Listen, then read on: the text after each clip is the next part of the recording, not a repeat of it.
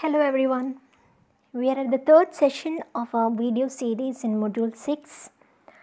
In the previous two sessions we discussed about MODFETs and HBTs and today our topic will be related to something we have already familiarized. Right. So far we have seen how um, the electrons in your heterojunctions and the quantum wells respond to the applied electric field uh, when it's parallel to the interface. In fact, we have discussed regarding parallel transport. In today's session, let's see what happens when, uh, one sec. Let's see what happens uh, when your transport is perpendicular. See, at certain circumstances, it is possible for your electrons to move through the barrier or which means to move perpendicular to a potential barrier forming the so called uh, perpendicular transport right? And the basic mechanism behind perpendicular transport is tunneling. And the, there we have familiarized with resonant tunneling. Let's uh, go for a quick recap of what is resonant tunnel. Uh, when we studied resonant tunneling we also saw that this tunneling current through these heterojunctions showed uh, areas of negative differential resistance or the NDR region and which arised uh, when the current level decreases for increasing voltage due to some particular reason. We will see that. In fact, this NDR effect, the negative differential resistance effect was first observed um, by Esaki when uh, he was studying the normal PN junction tunnel diodes. And later, together with uh, the scientist Tsu, Esaki and Tsu, proposed that this effect would also be observed in the um, current through quantum wells. And that was how that uh, this NDR effect was further studied in the case of quantum wells. The operation of the NDR quantum wells the negative differential resistance quantum wells in the electronic devices led to the effect called resonant tunneling effect, the RTE. Let's see what is this uh, effect. We have already seen resonant tunneling. What is that? Let's uh, have a quick recap. Basically, the resonant tunneling effect takes place when the when your current uh, is traveling from a structure formed uh, by say two thin barriers. And you have the quantum well in between. It's nothing but your aluminum gallium arsenide and gallium arsenide region right? You had the electrons moving from the uh, doped aluminum gallium arsenide to gallium arsenide right? And when we have aluminum gallium arsenide gallium arsenide aluminum gallium arsenide we had a quantum well formation. The same thing we are considering here. Consider the structure. So uh, here we have seen the uh, we are showing the conduction band of a double heterojunction right so this is aluminum gallium arsenide gallium arsenide and aluminum gallium arsenide it's a double heterojunction placed back to back forming a quantum well in between. Now, uh, in order to tunneling to take place, we make sure that the thickness of this quantum well must be very small in the range of say 5 to 10 nanometers. And this ensures that there is only one allowed energy level E1. See in all these figures I have, I have shown only single energy level E1 right? When we know that uh, quantum wells are capable of forming quantized energy levels. So for that we have taken the condition that the thickness of this quantum well is extremely small in the range of uh, maybe 10 nanometers. So that there is only one electron energy level present and the well is made from the lightly doped or nearly intrinsic gallium arsenide and they are surrounded on both sides by aluminum gallium arsenide as I have said. And even the further outer layers, the further outer layers are made of uh, n-type gallium arsenide. We have intrinsic or very lightly doped gallium arsenide aluminum gallium arsenide region on both sides and then we have heavily n-doped gallium arsenide region. And this gallium arsenide region at this uh, end is for the electrical contacts right? That's it. So this is our concern. This three region is our concern. We want our electrons to tunnel from this region to this crossing the potential well. Let's see what happens. Initially when the voltage is increasing the electron energy uh, in our n plus gallium arsenide increases right? And until the value 2e1 where is it yeah 2 times e1 by e is reached. The electrons in the energy located in near our fermi level see? They will coincide with the fermi level of E1 and the electrons can easily tunnel. So, in this case when a voltage is 2 E1 by E, resonance occurs and the coefficient of your transmission uh, this increases very sharply and because of this what happens with an increase in voltage there is a, increase, a corresponding increase in the current. Right? So what has happened?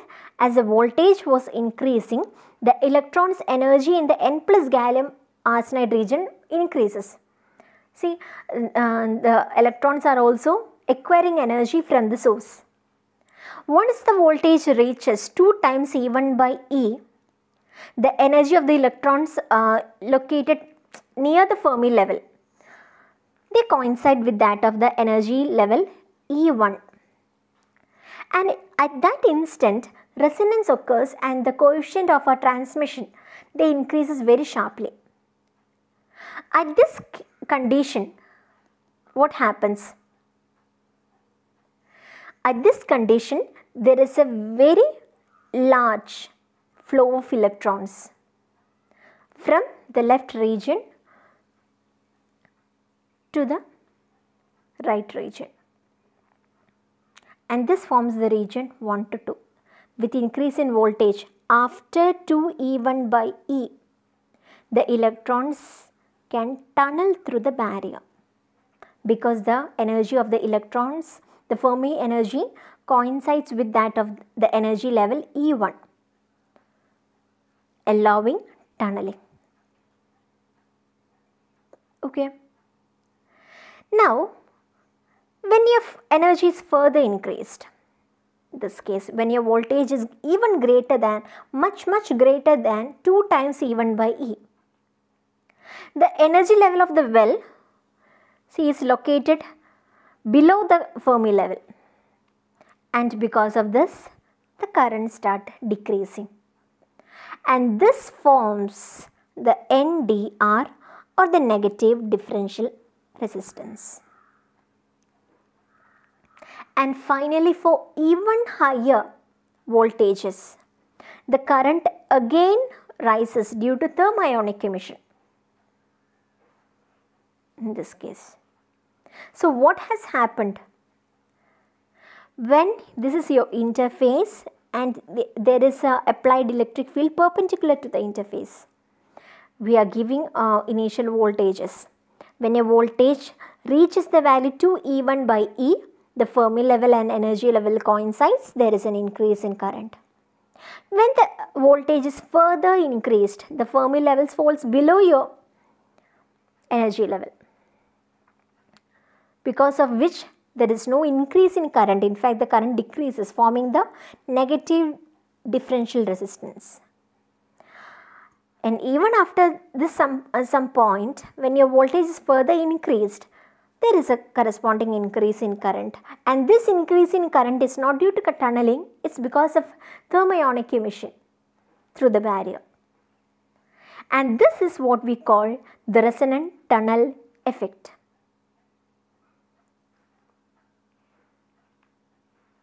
These are the points that we have uh, discussed so far.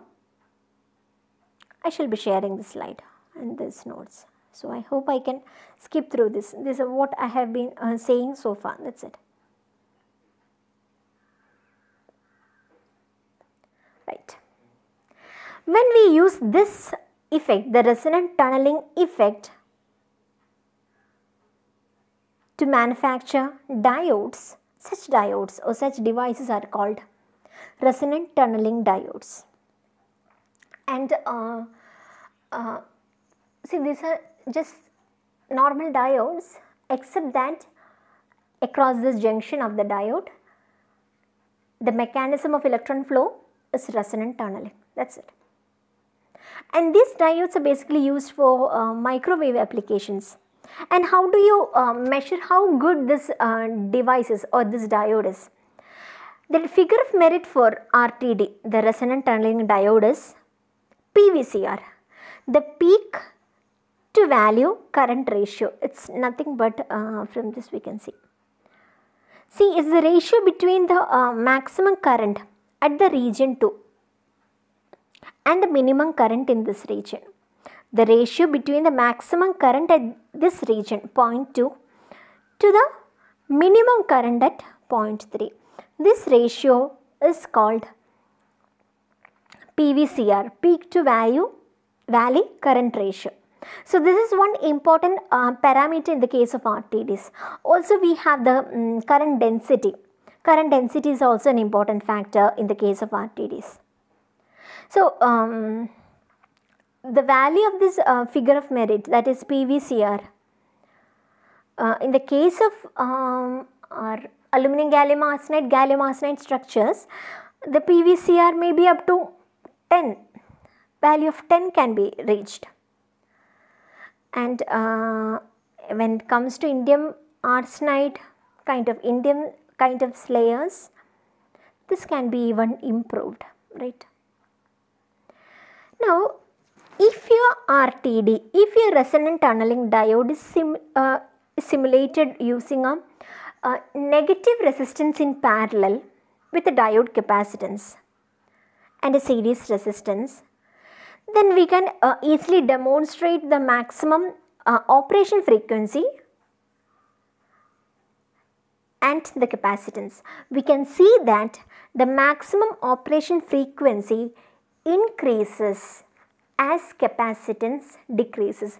This is again something we have already uh, discussed in the case of HBTs, right? when we are uh, reducing the parasitic capacitance, the performance increases at higher frequencies. That, that is the same thing that we can observe in the case of RTDs. So, uh, in order to determine this relation, what we can do is, we, have, we can place a negative resistance in parallel with a diode capacitance and a series capacitance RS. Just similar to what we do in the case of diodes. And such a study has shown us that as uh, capacitance decreases, your operation frequency increases. And um, we basically uh, fabricate these resonant tunnel diodes from low semiconductors of very low doping. And because of this, uh, we can form wider depletion region between your barrier and the collector regions. So, uh, because and due to all these reasons, uh, RTDs can be used to operate at high frequencies, um, perhaps out of few terahertz range. So far when we discussed MOSFETs and HBT, we were uh, discussing about devices which worked up to 100 gigahertz or even 400 gigahertz. Now when we reached R RTDs, the resonant tunneling diodes, they can work up to extremely high frequencies in the terahertz range. Yes, so uh, and we for that how um, yeah sorry for that we basically uh, fabricate RTDs using low doped semiconductors.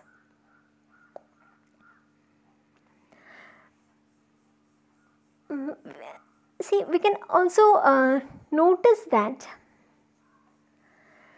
these RTDs if they show uh, small values for negative resistance, that is the difference between the 0.2 and 0.3 in the graph is small, it shows that there is a, a sudden fall from the maximum of the uh, if of your current voltage curve and this can in fact result in high cutoff frequencies of operation. So if your NDR value, the negative res, uh, differential resistance value is small, that is there is a sudden fall from 2 to 3, it implies that you can get a very high cutoff frequency for operation. So in fact RTDs are the only electronic devices which can uh, operate up to maybe 1 terahertz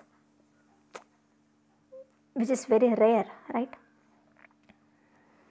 But though these are their advantages we can also see that the power delivered by this RTD uh, maybe to an external load or uh, maybe to some antennas or waveguides are extremely small. The power is very small because uh, normally their output voltage comes in the range of about 0.3 volt.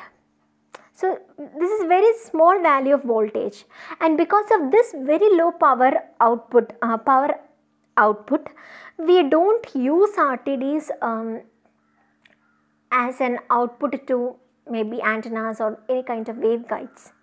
So though RTDs can work at very high frequencies, we don't prefer them as an output to waveguides or antennas. Why? They give very low output power.